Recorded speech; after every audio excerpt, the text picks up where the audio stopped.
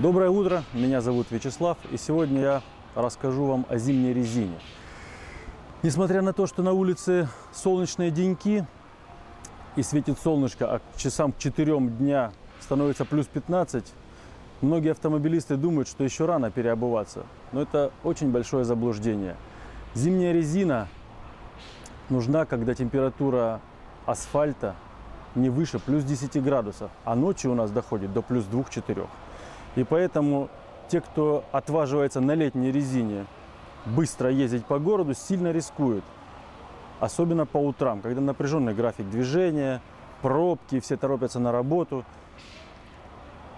Это ошибка, потому что асфальт холодный, а резина летняя. И она стекленеет. Тормозной путь увеличивается до 30%. Поэтому не стоит искушать судьбу и подвергать свою жизнь опасности, и опасности жизнь окружающих.